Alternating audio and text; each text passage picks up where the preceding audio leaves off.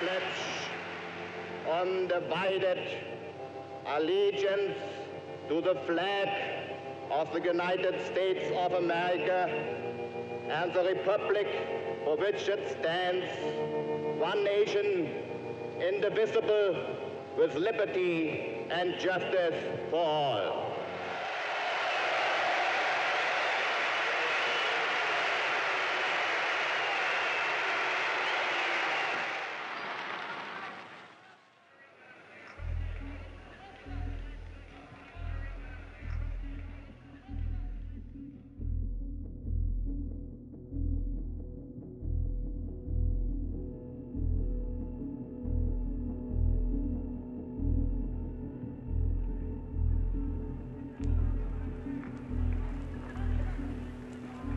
Ladies and gentlemen, fellow Americans, American patriots,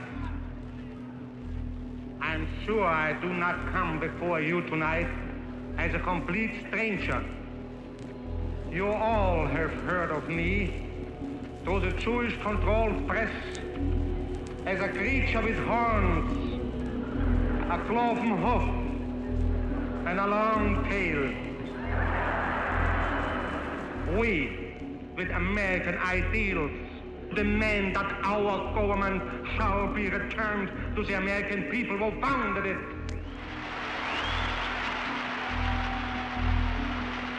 If you ask what we are actively fighting for under our charter, first, a social just white Gentile ruled United States. Second, Gentile-controlled labor union, free from Jewish Moscow-directed domination.